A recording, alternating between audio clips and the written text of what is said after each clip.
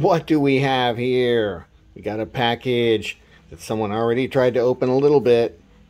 Not quite enough to get the box out, but you can tell it's a box, and it's a, you know, a knife-shaped box, I hope. I don't really know. I don't know what it is. Which one of these should we use to open it? Which one of these jade beauties? I think I'm going this guy. Ah, boy, and I flubbed the front flip, you know? That's terrible. I love Kubey, even though I suck at front flipping. Uh, I'd probably be better at if this stupid um, thumb stud wasn't in the way. But then again, the thumb stud makes it thumb flick flickable, so I like the thumb stud. All right, let's get this guy open. What do we have here? Shit. Don't actually know. Okay, nothing on the box. Okay, that probably means cheap Chinese, like delicious food, cheap Chinese. What do we got? Oh, wow, I ordered this one a while back. It's heavy. You know what? Um, this is supposed to be titanium, but I don't think it is. Wow. Light detent. I think this is a fake Microtech, if I remember right. I got it for real cheap, like 20 bucks or something. And it feels like 20 bucks. Because it's heavy as shit. It's steel. Uh, I'm pretty sure those are steel uh, handles. They said titanium in the ad. They were big fat liars. But man, I can see why people like the uh, why people like the shape and just this knife in general. It's it's got a real nice profile, and I kind of like the pocket clip too, even though it's a little on the big side. So this is your like fake Eafengrow version of the Microtech. Damn it, I don't remember the name. I'll put it right up here.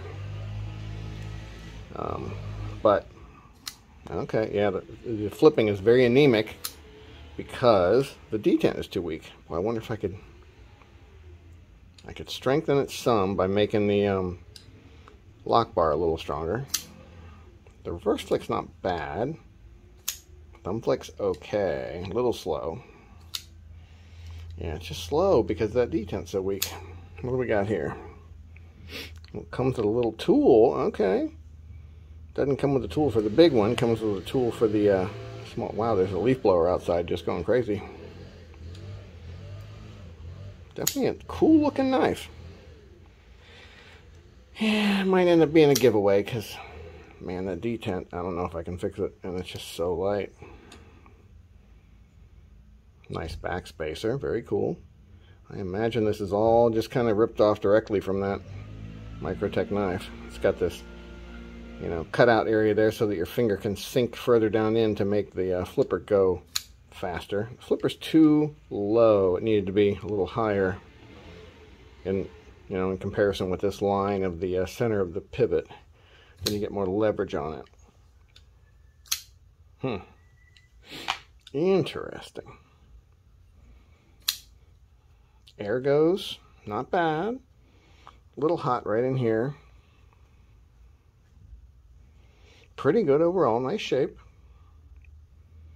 I don't know, it's sad that it's uh, not titanium like it was supposed to be. That's very disappointing.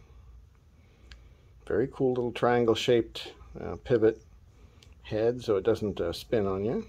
How is the play? No play. Let's see, is it over tightened? Might be a tad over tightened. I wonder if we can loosen it up a little bit by hand. Hmm. If it doesn't have a tool uh, for the big one, I don't know how I would do it. Hmm.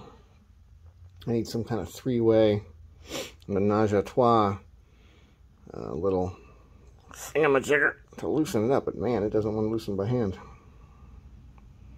Nope, nope, nope. Damn, nope. I don't think it's going to. Well, if you get a little wrist, it pops on out there. Guess what I can say is, if you can afford the seven or eight hundred dollars or whatever the real one is, uh, it's probably a really cool knife. Uh, instead of being uh, a really heavy knife like this one is. I think this sucker's probably close to six ounces, seven ounces, something like that.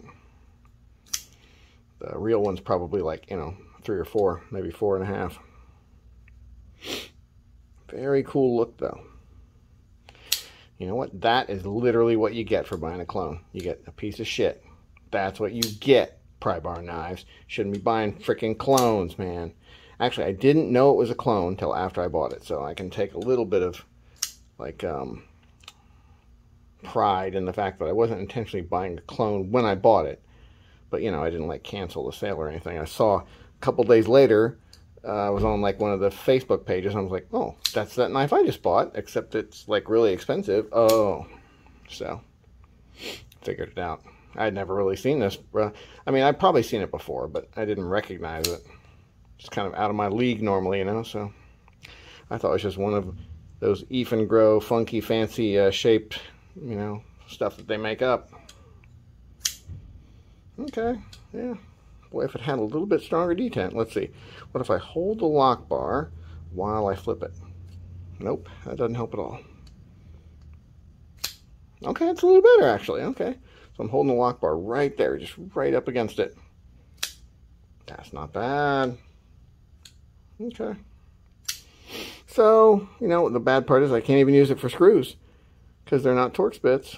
So they're weird ass screws that I can't really use if I could drill some holes right where those detents are, light, they're not detents, whatever those little cutouts are, down right through there to lighten it up some. Because man, this sucker's heavy. Needs more uh, lock access too. It has a little spot cut out, but it's not enough. It's like uh, your finger just want to ride, ride across that and not catch on it. Yeah, it's a fun knife anyway. Well, there you go. It's your Grow, I think, unlabeled uh, copy, uh, knockoff of a very expensive uh, Microtech blah blah blah. Yeah, I don't really recommend it. Action's kind of meh. The blade is pretty well done though. I like the, uh, let me clean it off. The satin grind lines are pretty well done. Look at that. That's pretty, huh? And then you got this uh, tumbled finish here. Yeah, the blade is neat. Wouldn't mind seeing the blade on something else. wonder if I have anything else I could put this blade on, because I really like the blade. It's probably supposed to be D2 or something, but who the hell knows what it is. Could be just total bullshit, crap, steel. Probably is. Uh, you get what you pay for, buyer beware, all that shit. Don't buy clones. Have a nice day.